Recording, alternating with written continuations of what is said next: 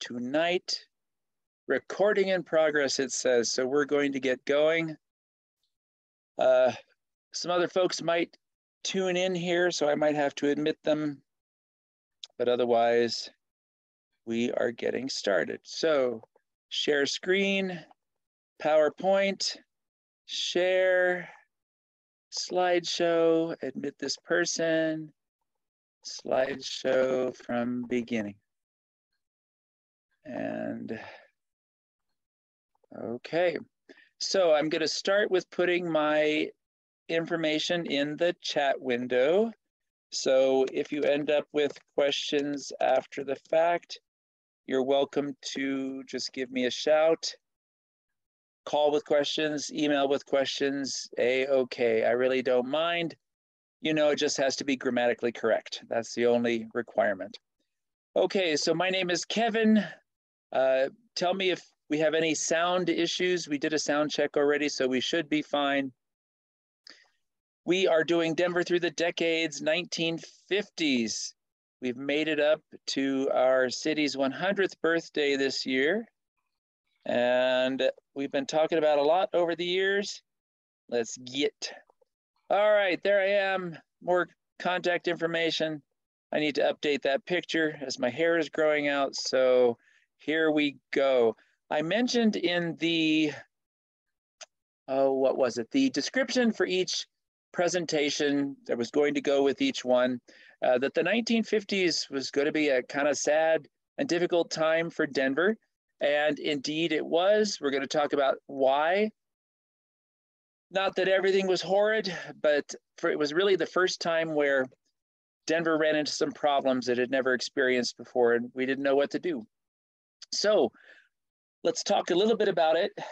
I could really spend the entire presentation just talking about this, but that would be dull. So we're not going to do that. One of my colleagues, Tom Noel, wrote a great paper on Denver in the 1950s. And so I have taken out a few little bits of that uh, because when Dr. Colorado says it, then it must be so. So regional growth, we had tons of folks moving in here, especially after the war. Many folks had become charmed with the weather here, with the sunshine, et cetera, and moved here. The GI Bill saw a lot of students come into the metro area. But as much as Denver's population growth was amazing in the 1950s, what happened in the counties around us was truly astronomical. So I've written some numbers up here. I'll let you just look at the numbers as I go. And a lot of folks around us, the communities around us, could see that whole writing on the wall thing. Denver began to annex around it. So cities began to form around us for varying reasons, but often it was to prevent themselves from being incorporated into Denver and to take over greater control as things began to expand with their populations. So, for example, Greenwood Village, Glendale, these are some of the cities that incorporated so that they could avoid being annexed into Denver. Commerce Town, uh, they decided that they would incorporate, even though they didn't have the gigantic population uh, onrush quite at this moment, but they could see it coming. Uh, Thornton was one of those post war suburbs uh, absolutely. Just one of the places where tract housing gave rise to a city. Today, the only part of Thornton that's really of age would be the Eastlake area. Uh, the actual beginning of the city of Thornton, those show homes went in the 1950s, uh, one of them designed by Jane Russell, which is an exciting story. Bow Mar and Columbine Valley, both in the South metropolitan area, uh, they wanted to maintain their flavor for Bow Mar and Columbine Valley wanted to solidify its golfing. So if you look at the pictures here that I have, my colleague Sean uh, wrote a book, Denver City Park and Whittier Neighborhoods, and I helped with the pictures and some of the captions and such. He wrote the book. I just did a little labor. And he interviewed the Van Loon daughters. And so here you see two pictures from the Van Loons, talks about their family story in the park uh, in the park, I'm sorry, in the neighborhood, the original neighborhood, which is the picture on the left. So that's going to be up in the Cole neighborhood. And if you look at the picture on the right, they ended up moving over to Lakewood. So they moved from the inner ring original streetcar suburbs on the left to the bright, shiny new suburbs in, in this case, Lakewood. And we really got an earful as to why that happened. And that comes around to some of the problems in this time period. So I've got this whole article from Tom. Tom says, My house was built in 1956. Uh, there were an awful lot of, sorry, it's too dark in here for me to see this. Uh, there were an awful lot of houses built in the Denver area 1946 and onward. All those supplies were then, uh, that were from the war era, all those were then turned to housing and other things for the new burgeoning communities. The Queen Anne mansions of the past were being cut down and turned into apartments. Capitol Hill was no longer an enclave for the rich and the wealthy. Those folks had gone on. They'd either died or lost their fortunes as coal and mining and railroads came to be less important. So at this time period, we really were seeing that watershed movement to the suburbs. And the phrase a lot of people like to throw around is white flight. Uh, I've done a lot of reading on this subject. It is a very complex story. So we're going to talk a little bit about that. Before we do that, let's go to our wonderful slides here from my colleague at Denver Urbanism. So as we normally do, we cycle through the 30 years before the decade, after the decade, and the one we're looking at. So as a reminder, what you're seeing in this picture, the gray spots were the ones that had already been developed, the plots that had already been developed. The red was what was developed during that decade. So as we talked about in our last presentation, not as much was done in the 40s because the whole first half of the decade really saw very little development. So here's the second half of the 1940s. But get ready, ladies and gentlemen, watch this. Boom! Look at all that development, especially in the southwestern part of the city. So Harvey Park, Bear Valley, Mar Lee, and we start going over toward the University of Denver in the southeast. So lots of expansion in the 1950s. Tract houses became de rigueur, and everyone wanted one. As Tom said, folks were super interested in getting out of the cramped inner city out of their little apartments. They wanted their acres of uh, space around them with shiny new houses with all the amenities, which included, of course, picket fences and air conditioning. And they wanted the space. So the 1940s, 50s, and 60s. So my mother-in-law's house, which is where I'm doing my presentation tonight, uh, we visit twice a week. Uh, my mother-in-law's house would have been from this time period here you see in the 1940s. So my mother-in-law would have grown up in this post-war uh, explosion there in the 1950s and 60s. So obviously this is a presentation that you may watch the recording of later if you'd like to look at these slides a little more fully. And I do have all of these if any of you ever want me to send them off to you to examine more fully on your own. Okay, as an example of what was around us, I found this great picture of the city of Lafayette. Now, most of you know Lafayette, I'm sure, because you go to the most amazing food festival in Colorado, which happens in January. And that, of course, is the Oatmeal Festival. This year, I'm so sad. Uh, it's not the weekend I thought it was going to be. They pushed it back a week. So I'm actually going to be in Florida for a uh, tour. So I'm going to miss the Oatmeal Festival. So you're going to have to go without me. But here you see Lafayette, that wonderful city built on coal mining. Look, where is it? You can see just a little bit of the city here. This is why so many people were moving to the areas around us in those counties outside of Denver. You had lots of space. So Lafayette, its growth really began sure. in the 1950s. Hold a moment, please. That is. Yeah. That's smaller than Woomera, for Christ's sake. Yeah. Hold on. So after the Boulder, uh, Denver Boulder Turnpike went in, you really saw Lafayette, Louisville, Superior begin to explode. But all of the areas around us were so empty, tons of folks could move in there. It was super easy to build. And here is what they were building. This is an ad for the Carey Homes. I have another ad that I like to look at for Cliff May Homes. Uh, back in the day, tract housing, of course, made popular there at Levittown in New York uh, took the whole country by storm, and we built many, many of them. So as you see in the advertisement in the lower right-hand side, every day could be a holiday if you live in one of the Carey holiday homes. Today, these places in Southwest Denver, which is where these pictures were taken, super popular. Folks love these mid-century modern houses. And what were they leaving behind? Well, they were be leaving behind a inner city that was doing two things. Number one, in the 1950s, it started to build up. Denver got its first skyscraper, which you see here. This is the Mile High Center in 1954. This was the first time we built one of those wonderful ultra modern skyscrapers. The skyscrapers in Denver really sort of came in two waves.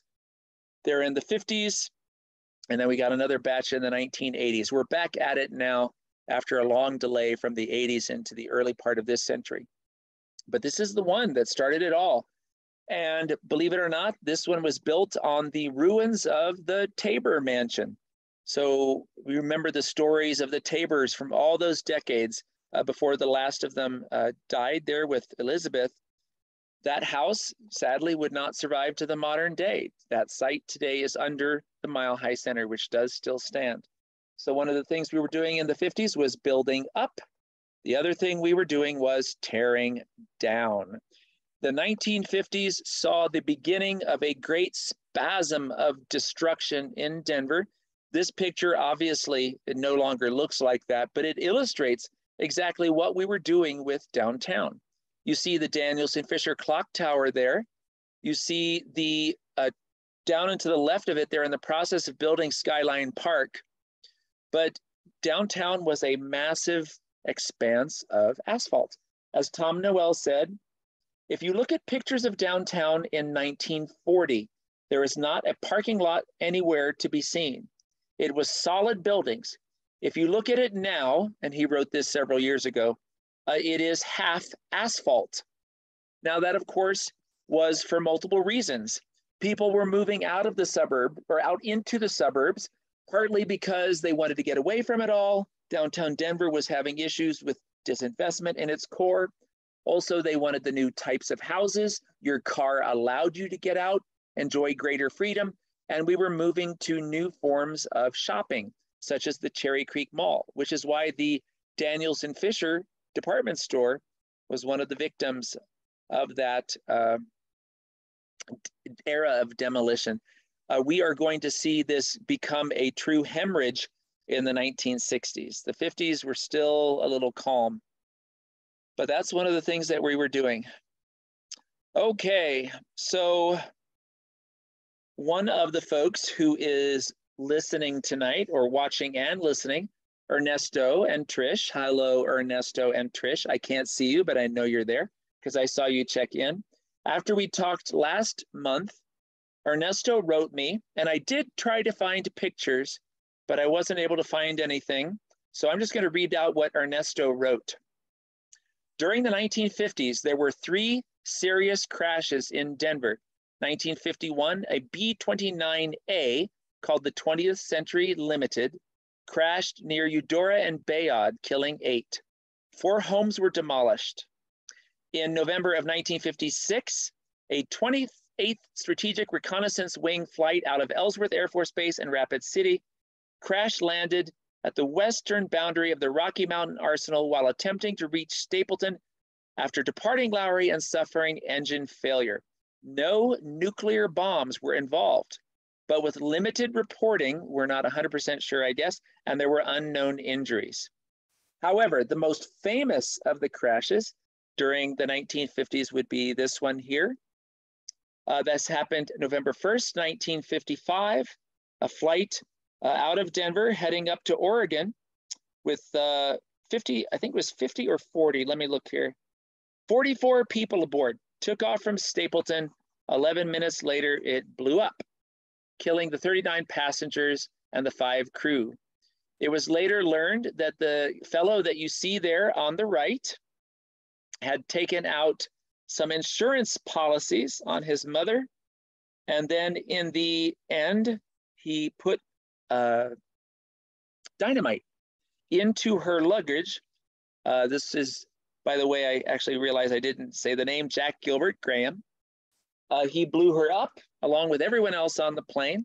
uh, so that he could collect the insurance money. Interestingly, in the annals of American history, this is really the first moment when the FBI kind of stepped in to see about helping to determine what had actually happened. They actually reconstructed the airplane. They looked through everything, well, reconstructed the airplane as much as they could in a hangar to try to determine what had happened. And they were able to determine that something in the luggage had exploded. And with that, they were able to look at some of the remnants of the luggage. They traced it all the way back to this guy. Uh, in the end, the uh, jurors found him guilty and he was executed. So, what is that? About two years later, year and a half, maybe, this guy uh, was executed. Very famous story in Denver. Obviously, a very sad story. Think of those poor people. Yeehaw! But there he is. Uh, after he was executed, his house here in Southwest Denver was demolished. It currently is a taco house, a new building on the same site. Uh, I think they really wanted to wipe out the memory of this man.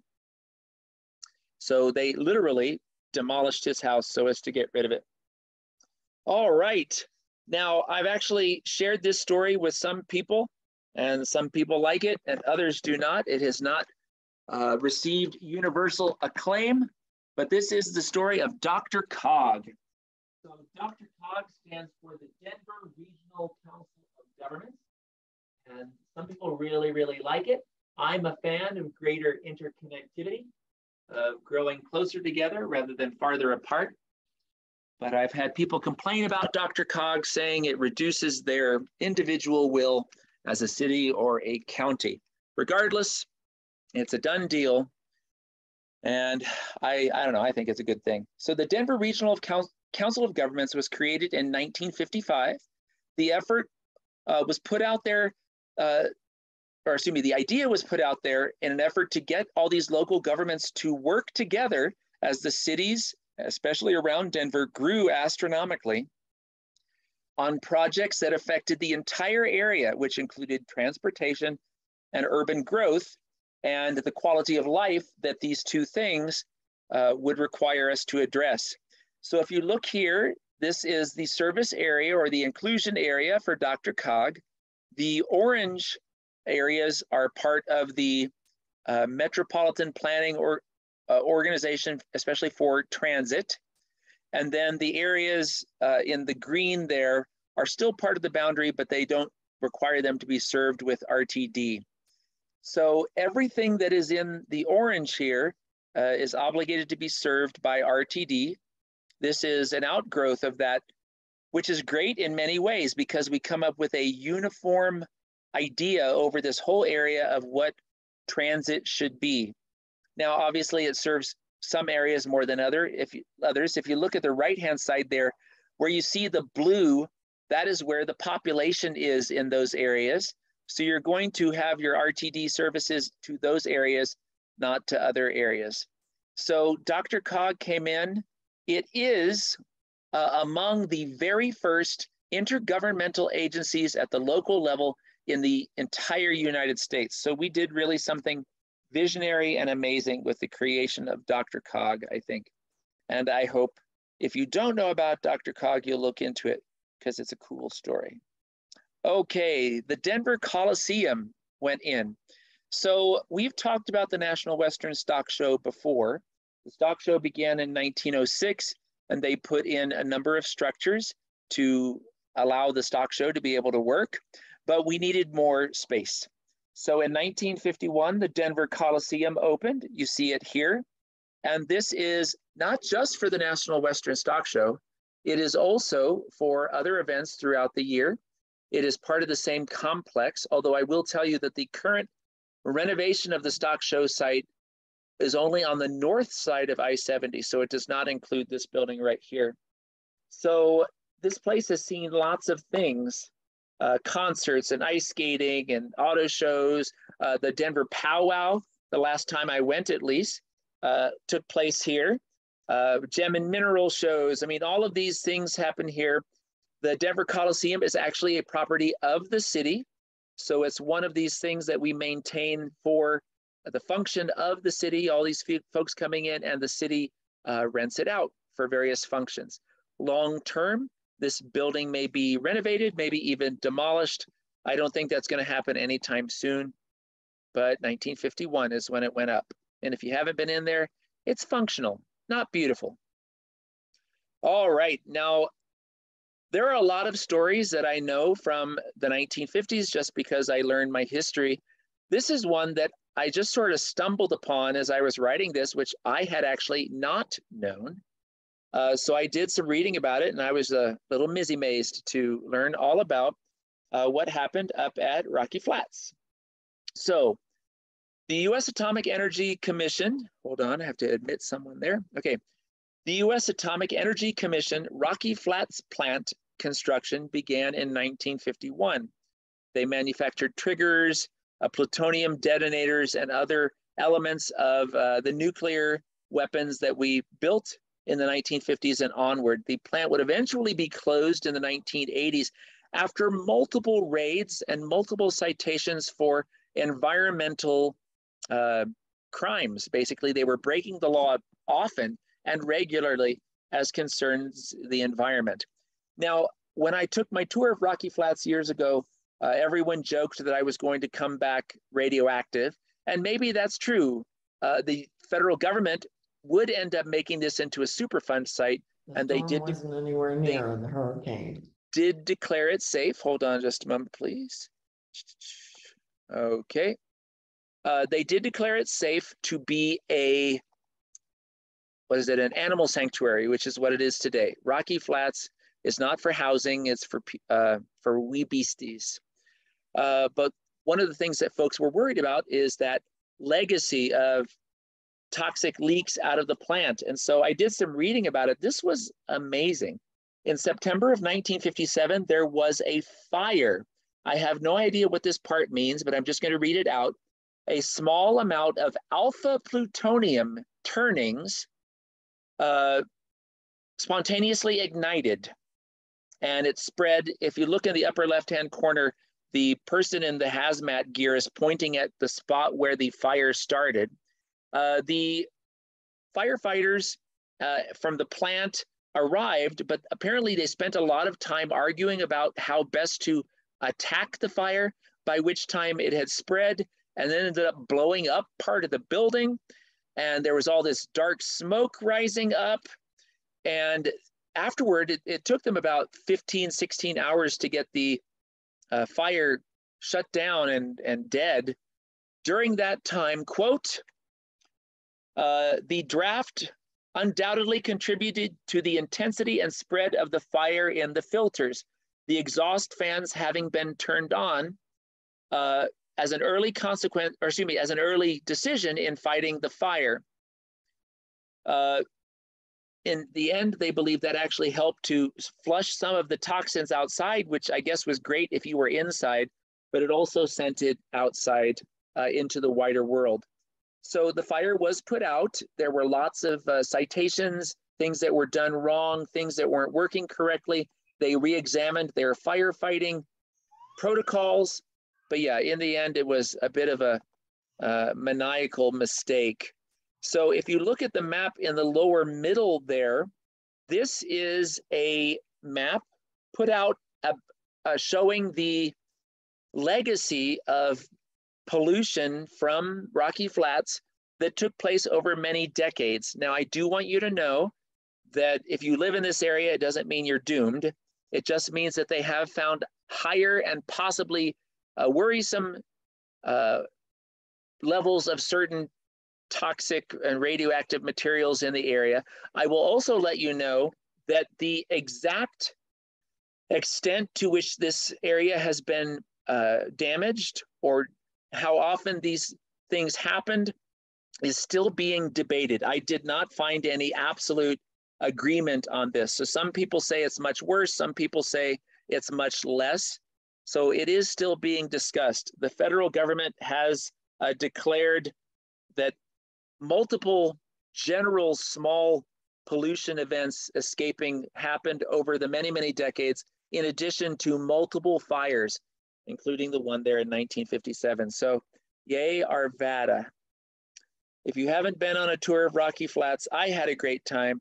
I didn't come back glowing, but I still enjoyed it. Okay, this is one of those things where when I first moved to Denver, I just assumed that the highway up to Boulder, Highway 36, had just always been there, etc. Well, of course, once I got here, time to start reading the history books, and I found out that it had once been a toll road, the Denver Boulder Turnpike. So today we don't even think about it, but so it was. That the Turnpike was a toll road once upon a time. It opened in 1952. It cost 25 cents. And my favorite story about the Turnpike, in addition to the fact that you can see in the upper left-hand side, no one is built anywhere along its length in this picture. This shows, uh, this is the area where the Interlocken Parkway, Superior, Broomfield, all of those things fill in this area now. But my favorite story, especially if you have been to Broomfield, you'll know this story. They've got a great history museum in Broomfield. And that is the story of the wonderful Shep, the turnpike dog. So Shep one day wandered up to one of the toll booths, and you're going to see a picture of that in the lower right hand side, and basically just adopted the toll booth as his home. So he would become not just a friend of the folks taking the quarter for the toll, but of all the people going along to and from Boulder. People would actually bring Shep food because who doesn't love to spoil of cute little pooch along the way? In the end, Shep was there for many years. Uh, when Shep died, uh, he would end up getting buried on the site right there with the toll booth. As they later expanded Highway 36, Shep would be disinterred and is now buried over near the Broomfield Depot Museum. So the next time you go there, uh, say hello to Shep. Some other things that happened concerning roads in, uh, in the 1950s. Oh, by the way, the Boulder Denver Turnpike was so successful, it paid itself off in 1967. So in 1956, the Federal Interstate Highways Act was signed. That would give us the interstate that Eisenhower so wanted and that we love today or hate. I 25 was begun in 1958. This was a continuation of the Valley Highway, an expansion on it, and that fed right into the Denver Boulder Turnpike we see here. The uh, in 1958, construction began on what we know today as I-76. I had not actually known that the original name for I-76 was I-80 South. It would later be renamed I-76 in honor of our bicentennial. And down in Douglas County and El Paso County, the Monument Valley Freeway was begun in 1955, later becoming part of I-25. So in the 50s, we started to build roads. All right, this is a story a little bit connected to me, only a tiny bit. Uh, all three of my brothers went to the Air Force Academy, and I find it very, oh, remarkable that it didn't start out there. That's one of the stories I learned as well. Believe it or not, the Air Force Academy started right here in Denver and a little bit in Aurora at Lowry. So after the United States government chose Colorado Springs for the site in 1954, the first cadets came into Lowry, 1955, because there was no academy yet. So the academy had to be built. So if you look here, we have pictures from the time that the Air Force Academy was at Lowry. The upper left-hand side, some of the facilities built at the time. The cadets, of course, all men, that wouldn't change until the 1970s. Here on the right hand side, and they tested planes. That's what you do at the Air Force Academy. So the cadets there on the left hand, lower left hand side are uh, coming from testing a, an aircraft there. So eventually, the Air Force Academy, of course, would be built and the cadets would move there. The first graduating class of cadets, 1959, did start at Lowry. One of those first graduates said, I walked through the gates at Lowry on July 11th, 1955, marched in by a bunch of NCOs. An officer came up to me and he did not like a thing about me. There were all sorts of things he was personally going to fix. Welcome to the military. So, right here in the Denver and a bit of Aurora area, the Air Force Academy began. All right. Now, this is a story that I did not know, although my mother, believe it or not, my mother loved watching the uh, Miss American pageant. She just thought it was great. She liked to see all the dresses and watch all the talent pieces and all that. Uh, the very first Miss America from Colorado was during our time period, 1955. This is the lovely Sharon K. Ritchie. Ritchie was 18 at the time, which is amazing because in that picture right there on the lower right hand side, she doesn't look 18. She looks older, but there it was. She was our first winner from Colorado. Believe it or not, this was not the only first that happened at this Miss America pageant. Yes, it was the first Miss Colorado ever chosen, but it was also the first time that the song, There She Is, Miss America, was performed. So that's kind of cool.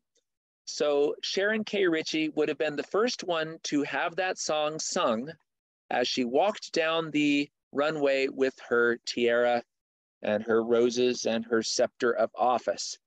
I believe we have had three Miss Americas from Colorado, if I recall correctly, and this is the first. All right. Now, yesterday I was talking with some folks at the El Pueblo Museum in Pueblo, and I made a mistake that I make every single time. I I don't know don't know why I do this, but I always call it the Hatch Chili Festival. And the two ladies there were not pleased. It's not the Hatch Chili Festival, it's just the Chili Festival. There are certain things, even after all these years, I can never remember. I know that President Eisenhower had his event in 1955 here in Denver. The thing I can never remember was it a heart attack or a stroke? So I looked it up here Eisenhower had an acute myocardial infarction in Denver in 1955. And I think, I think that is a heart attack. But I wanted to get the term right an acute myocardial infarction, which sounds amazing, even though I bet it was painful. So the reason Eisenhower spent so much time here in Denver is because his wife, Mamie Doud, graduated from East High School here in Denver, and she was the belle of the ball in Denver society for many years. Her family remained in Denver and they came frequently to visit. 1955, he had his heart attack. He was treated at uh, Fitzsimons, which is what you're seeing here in the pictures on the left and right. The left is one of the places where he would sit when he was feeling up to being out of his bed. And there on the right hand side, it doesn't look that big for a president, but that was the bed for President Eisenhower was while he was convalescing here, here in Denver. For those of you who, who have not yet been to this museum, at least pre-COVID, it was free. I don't actually know what it is now. I hope it's still free. Uh, the museum at least is still there. So if you haven't been, you may go learn all about President Eisenhower and his time.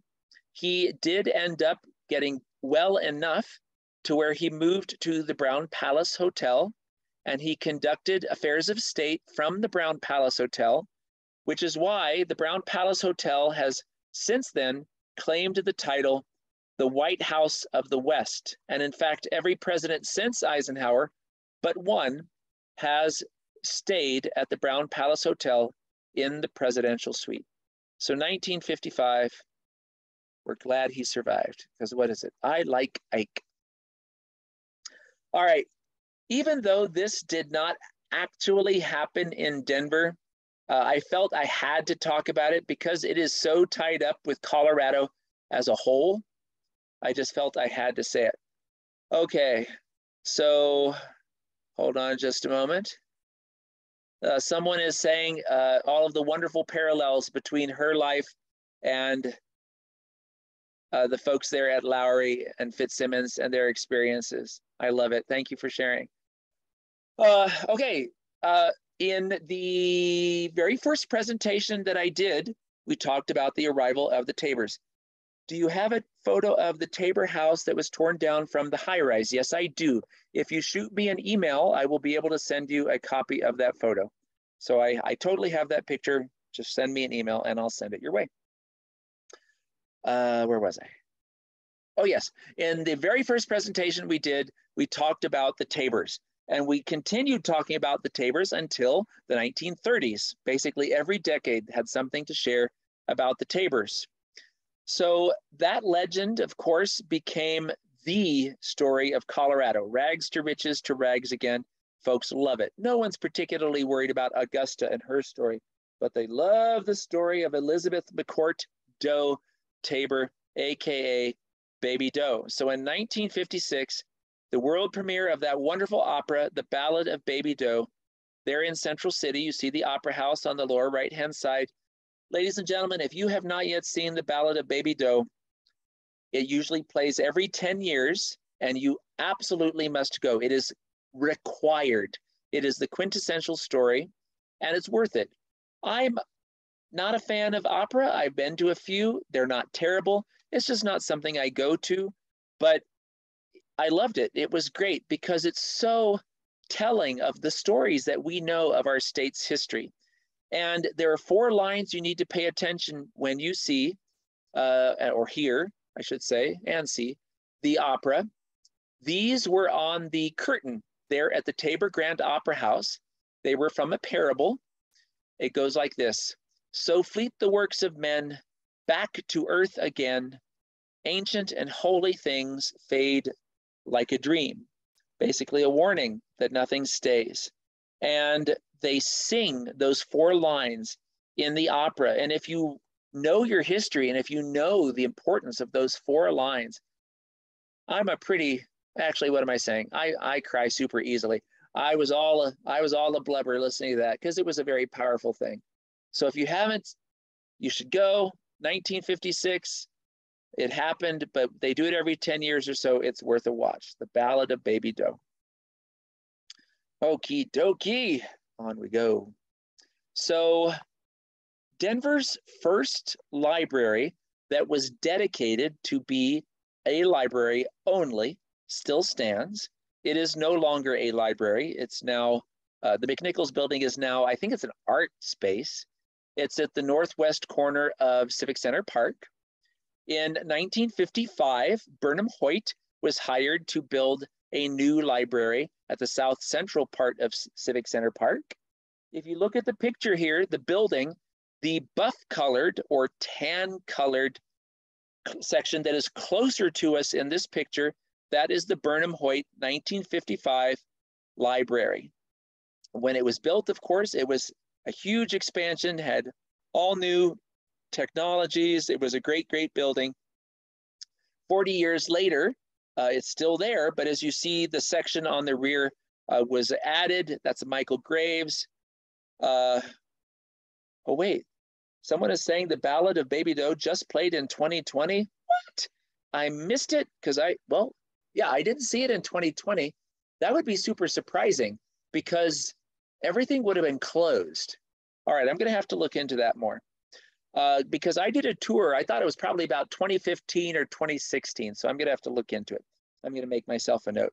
Anyway, the library, ladies and gentlemen, if you haven't been in there, uh, that section closer to us there, that went in 1955 and is worth a tour.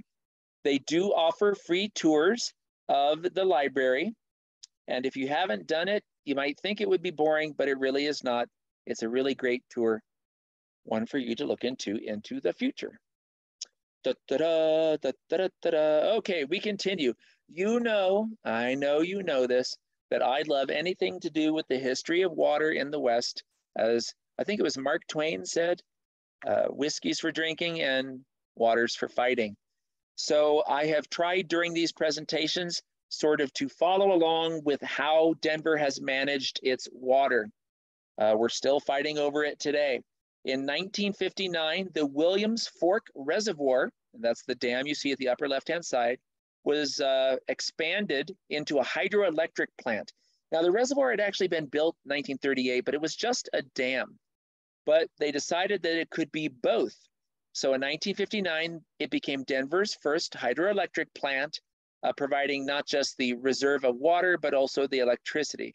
Denver Water now has seven hydroelectric plants generating more than enough power for all of its Denver water facilities, pump stations, and treatment plants. So, and obviously we have more electricity that, uh, that comes from it. This uh, train car that you see here in the main picture, these are some of the pieces that are going off to build that plant. So 1959, the Williams Fork Reservoir was turned into a hydroelectric plant. All right, now for those of you who've traveled with me a lot over the years, oops, sorry, my computer blipped there. Uh, you know that I love to do the tours of Colfax and that my favorite thing on earth to do is eat. And if you haven't been there, you should go to the wonderful Davies Chuck Wagon Diner. So on the left-hand side, you see the diner and the sign, the iconic sign, way back in the day. Or on the right-hand side, you see a more recent picture. Uh, believe it or not, that diner was built, it was uh, manufactured, that's the right word, manufactured on the East Coast. These uh, metallic shell restaurants were a common thing, and you could actually have them built and shipped to you. And then once you got them to your city, you could put them together and have a diner. We have multiple examples of these around the nation. Here in Denver, ours was and is Davies Chuck Wagon Di- Diner, prefabricated steel eatery. Now, the city of Lakewood took umbrage with this sign. They wanted the sign to be taken down because it no longer fits in with Lakewood's sign code. But I am so happy to tell you that the citizens of Lakewood basically lost their mind, saying, No way, you are not going to tear down our historic sign. And I am really grateful that the government of Lakewood listened, and today you may still enjoy Davies Chuck Wagon Diner with its original sign.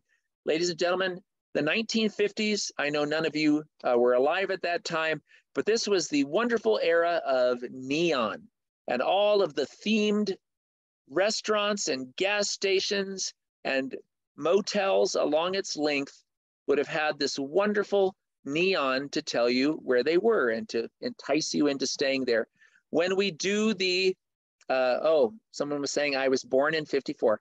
Okay, well, I guess someone sneaked in there, but I know that most of you here are very young, as I am.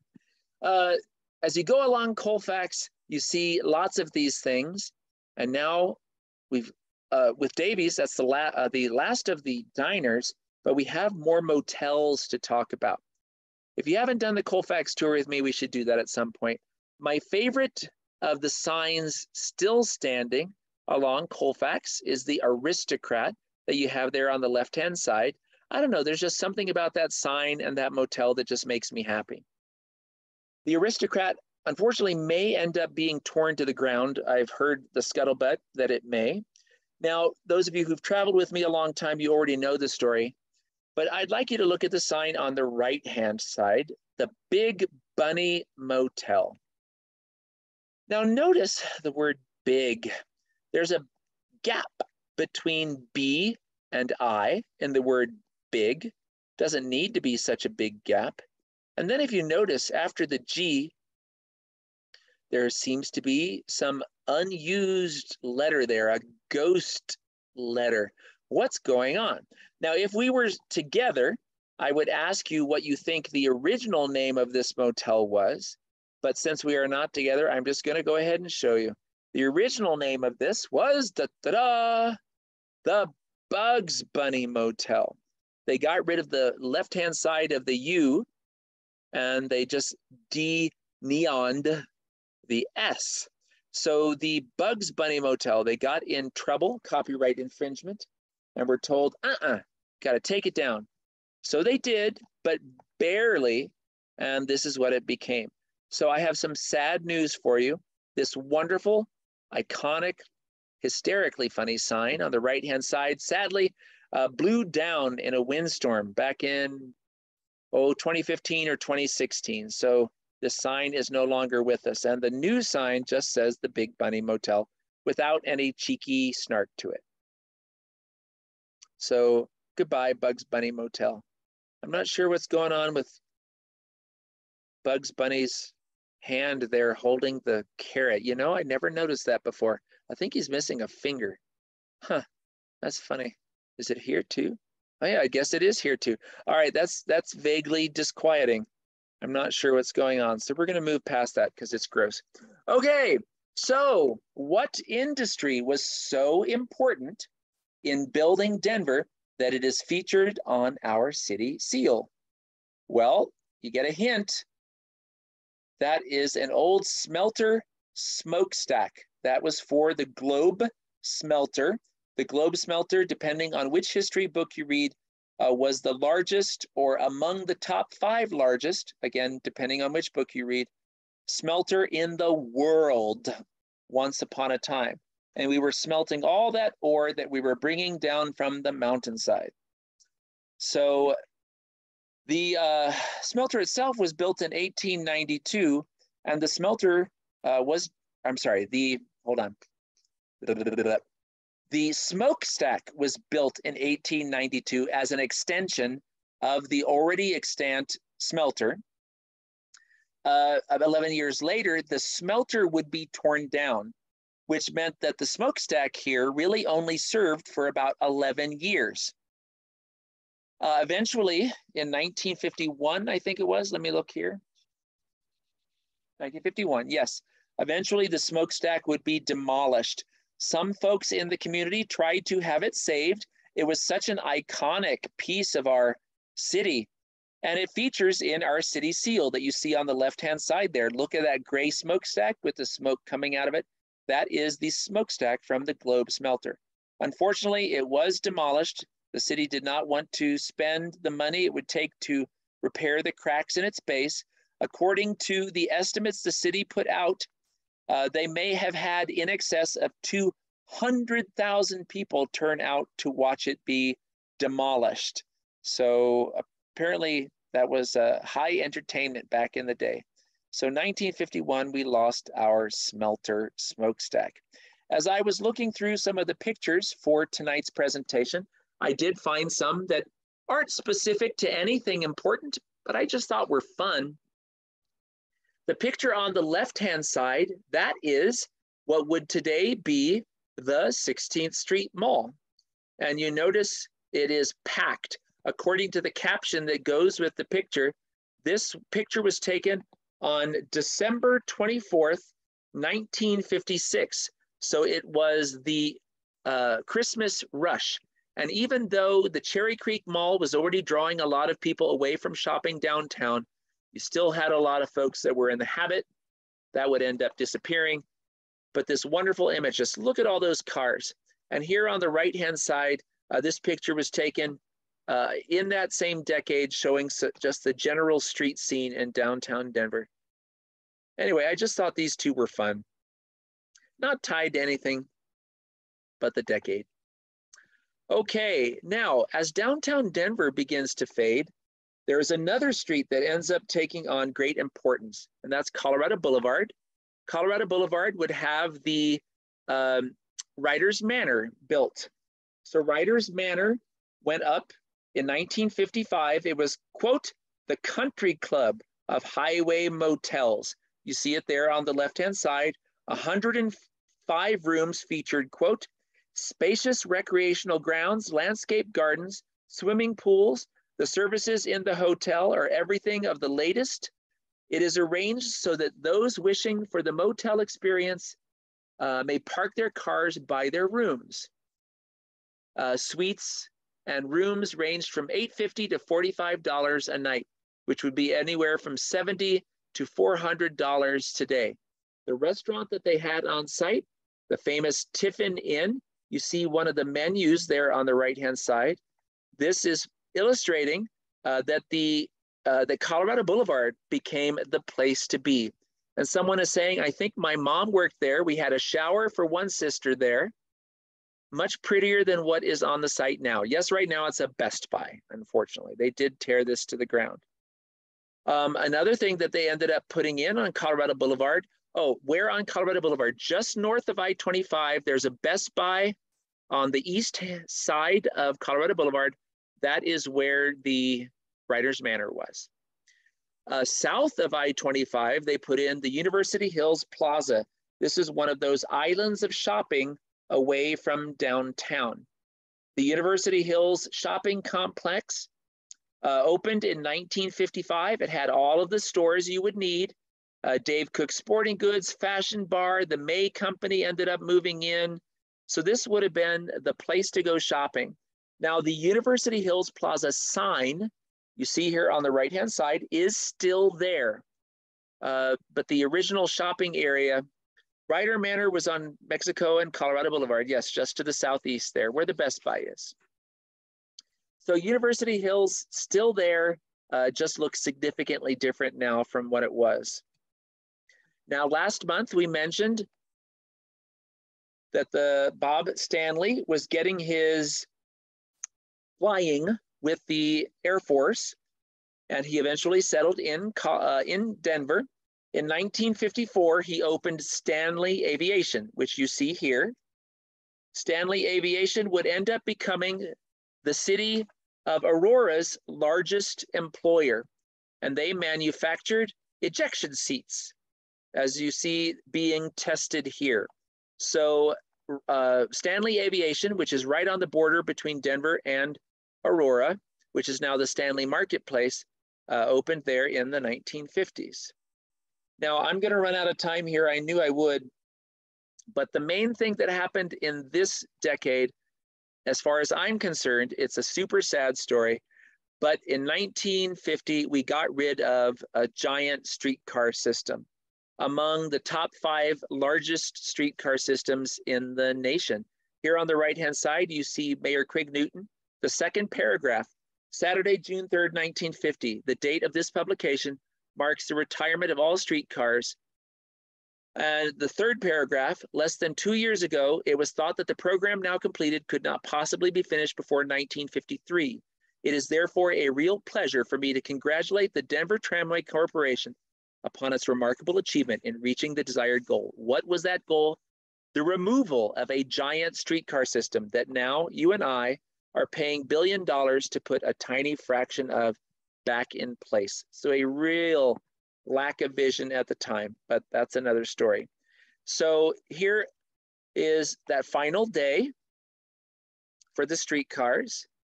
And this picture here on the left-hand side, I zoomed in at the map or not the map, I'm sorry, the poster on the front, you see that the streetcar is crying. Goodbye, old friends. My last day, June 3rd. So at this point, ladies and gentlemen, uh, a couple things. Save the date. Please join us for our unveiling of next year's tours. Everything from two hour walking tours up to big old tours. We're, we're going back international next year.